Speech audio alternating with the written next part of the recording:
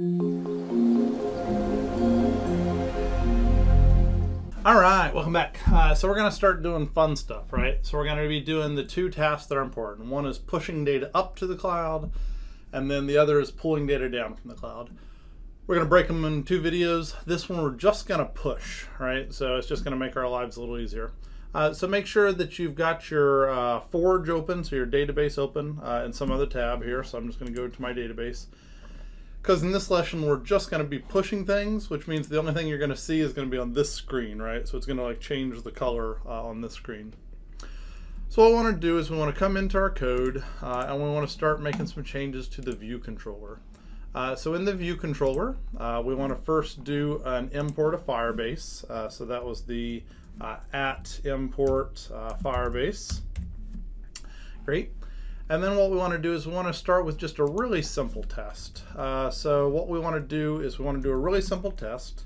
So what we're going to need to do is we're going to need to get a reference uh, to the Firebase uh, and then uh, just push a value, right?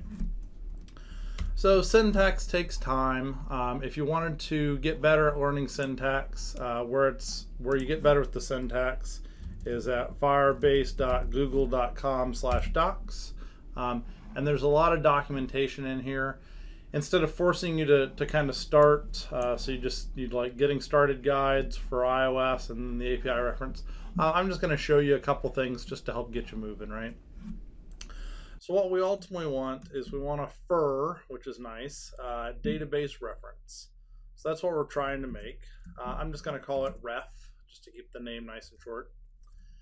The way you do it is you call a function on the FIR database, um, and the function you call is database.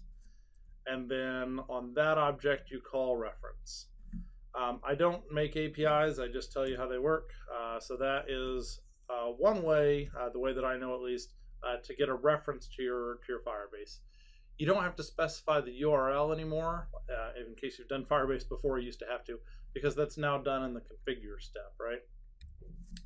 And so what we're going to do with that ref um, is we're going to actually get a child, um, and the child that we're going to get is for the, uh, let's just say, favorite color path.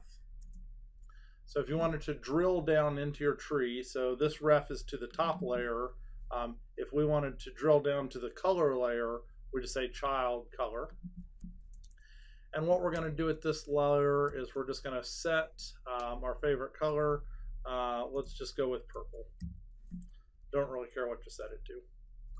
So we got a reference uh, and we set it to purple. Uh, this is actually enough code to run uh, to see something happen. So what we're going to hopefully see here, if I can get all these other stupid windows out of my way, um, is when I run this, um, it's going to change this gray uh, to the word purple as soon as it loads. So it loading up, uh, and sure enough, bam, and sent it to purple. Cool. That was like our cool first step, right? That was the first time we've had our app actually talk to the cloud. So, so that was kind of cool. Uh, so I know the last video lecture was painful, but it got all these things set up to where you could just start using them. So what we're going to do is instead of writing to things when our app launches, which is kind of silly, uh, we're going to make a couple references. So we're going to grab a Firebase ref uh, to the, just call it color ref, uh, and then we'll also grab one off to the, the number ref, right? Uh, so favorite color, favorite number. And then instead of actually just pushing a value to it right here, what I really want to do is I want to grab just this inner part. Uh, so just grab that part and say self dot color ref is equal to uh, that inner part. Um, I'll keep this around as my reference for later. But really, I just want to grab the main URL ref, uh, and then I want to set my color ref, uh, and also my number ref, right? So now I can access those two locations uh, without having to like worry about going through anything. Great. Uh, so in order to push data, so this was like a good example of pushing data. You just say set value and what it what it does. Uh, what the heck? I'll kind of copy this uh, down below because I know I'm going to need something kind of sort of like it. So right now, what red does is red sets the local variable. We're, we're not going to use local variables, right? So in fact, I'm pretty sure I could delete uh, that color. Now I still kind of sort of use it later. What I want to do is I want to say uh, color ref uh, set value, and we want to set the value in the cloud to be red.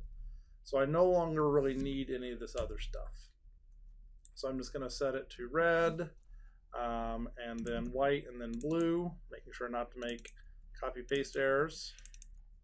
Uh, and then I'm going to kill my local ones. So that doesn't look like much. Um, in fact, it's going to kind of make my app behave worse because I've kind of broken my app because my, my reads are from local data and my pushes are to Firebase data. And it kind of is going to look bad at first, but it's going to all come together later. But what we should be able to do here is if I click red, um, it pushes red. Uh, if I click white, it pushes white. And if I click blue, uh, it goes to blue. If I click on update for Firebase, nothing really useful happens yet because we're going to do that in the next video. But, I mean, we're pushing stuff to the cloud, and that should be exciting enough for now, right? It's probably not, but it, uh, we'll get there. Uh, let's do the same thing uh, for the favorite numbers. Um, so if I go to this increment area, I'm going to basically do something kind of like this, except for instead of color ref, it's going to be a number ref and I'm going to set the value to something. The value that you want to set it to is, is like a, just a plain old number. Um, it has to be wrapped as an NS number. So it's going to be a number with a long is what we're going to do. And what we're going to set it to is we're going to set it to self dot favorite color, or sorry, favorite number uh, plus one. Kind of like having parentheses around it too. Uh, I think it kind of looks better, um, but obviously, if you don't want them, you don't have to have them, right? Now, what the heck, I won't do them. So you can see uh, that right now I've made the app much worse because used to this used to modify the local variable, which we're not going to modify local variables at all anymore. We're just going to push it to the cloud. Um, and it used to do the update in here. Uh, I'm just going to delete it for now and just know that we're going to make a change later. So we've broken it. We've made it kind of much worse, but we've made a good building block, right? So whatever the favorite number is, add one to it. Now we're never reading to it, uh, so its values are going to always be plus one or minus one of whatever I set it to here. So I set it to zero here. It's going to be one whenever I click this button, and negative one when I click this button. Um, and that'll be for now uh, working as intended, right? So if this thing comes up, if I click on uh, white, you can see it pushes white still. If I say increment, it goes to one. If I say decrement, uh, it goes to negative one. And the reason it's doing that is because we're not reading. So if I click it again, it, it still is just one, right? Um, and we're not reading that one from the cloud. So it's forever incrementing from the number it knows, which is zero, right? Cool. All right. So that's pushing. Uh, and pushing is pretty easy to do. Um, you just set a value. Uh, there's a lot of different things you can do in Firebase, but the main one is just set value. So you're pointing to some spot, you've got a reference to a location in Firebase, uh, and you're just setting its value to something else. Easy peasy. All right, come back next time and we'll do uh, retrieval from the cloud. I'll see you then.